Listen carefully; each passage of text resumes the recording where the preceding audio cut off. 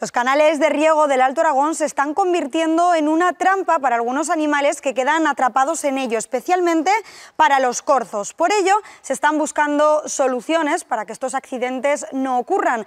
Hablamos con Javier Escorzo, coordinador de agentes de protección de la naturaleza del Bajo Aragón y Matarraña. Buenas tardes. Hola, buenas tardes. Javier, ¿cuáles son esas soluciones que se están buscando? Bueno, pues están eh, buscando varias soluciones, eh, siempre para evitar que los animales no caigan a los canales y de esa manera podamos evitar pues, la, mortandad que, sucede en la época del año cuando caen. Eh, primero se, va, se está estudiando muy bien a ver cuáles son los sitios por donde pasan con la intención de abrir nuevos espacios de salida, vallar algunos tramos, o vamos a ver qué otras soluciones se pueden encontrar y que nos permitan o que permitan en general que caigan el menor número de animales posibles a, los canales de riego. ¿Qué tipo de animales caen? Porque vemos que son corzos en su mayoría, pero también imagino que habrá algún otro. ¿Y qué perfil de corzos? ¿Son más bien corzos jóvenes? Bueno, ciertamente a un canal puede caer cualquier animal, pero sí que hemos visto que los corzos eh, no son especialmente hábiles para defenderse en el agua. Y, por eso mismo hay una mayor incidencia de corzos encontrados en los canales que están en una situación de ser arrastrados y no poder salir. Eh, la época del año principal es abril, mayo, vamos a decir la primavera, que en ese momento los corzos ya abandonan a sus madres y esos corzos jóvenes que han sido muy dependientes de sus madres, que tienen más experiencia y saben llevarlos por mejor camino, eh, suelen caer con mayor facilidad a, los canales. Y después, pues como son, como se ve en las imágenes, canales de hormigón de difícil eh, escalar, por decirlo así, o de difícil subir, y los corzos no tienen unas patas, como si la cabra, mucho más adaptadas a, que se agarre eh, al territorio, al terreno, al, hormigón con el que está hecho el canal, pues les cuesta muchísimo salir de ahí. Se ha hecho algo, pero todavía se puede hacer algo más para mejorar las infraestructuras.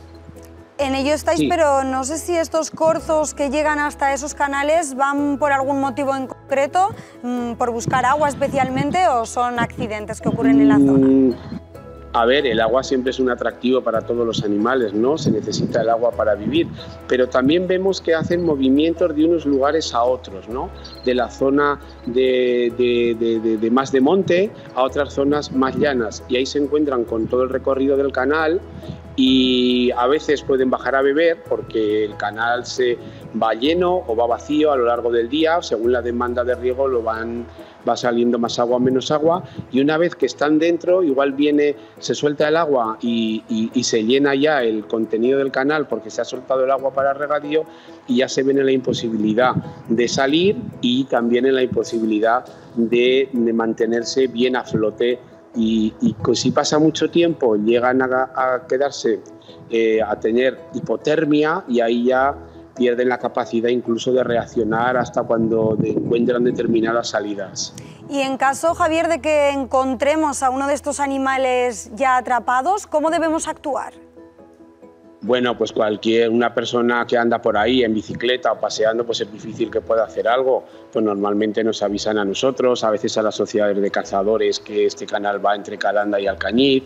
A veces también se ha avisado pues a, Guardia Civil, pero nosotros muchas veces solos o muchas veces con, la gente de la sociedad de cazadores ya tenemos unos cuantos sitios donde los tratamos de empujarlos allí para que hacerlos salir y si no pues con una cuerda o, ayudándonos de, a veces de un palo largo tenemos algunas herramientas tratar de acercarnos de, acercarlos a nosotros para poder cogerlos y sacarlos de allí.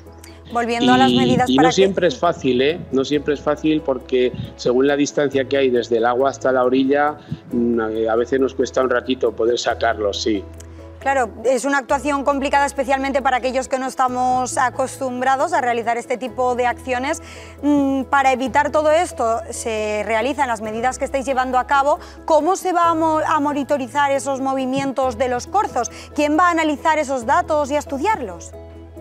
Sí, mira, pues a, a raíz de varias personas muy interesadas también eh, en, que, en ayudar a que esto se solucione, se pusieron en contacto con una fundación que se llama Artemisan, que son los que van a proporcionar unos collares para que animales como, los que se, como este que en concreto se pueden sacar vivos, ponerle ese collar para monitorizar sus movimientos, ver ese animal a dónde va, ver ese animal si vuelve a caer al canal, etcétera, etcétera. Para ello vamos a colaborar nosotros, el, colectivo de agentes de protección de naturaleza, y también van a colaborar los cotos de caza afectados, que como he dicho son Calanda, Alcañiz y también Castelserás, que es por donde circula el agua del canal.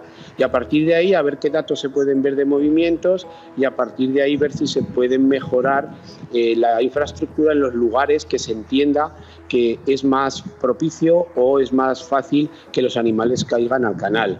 Con respecto a lo anterior, decir que los animales silvestres hay que tener cuidado al manejarlos. ¿eh?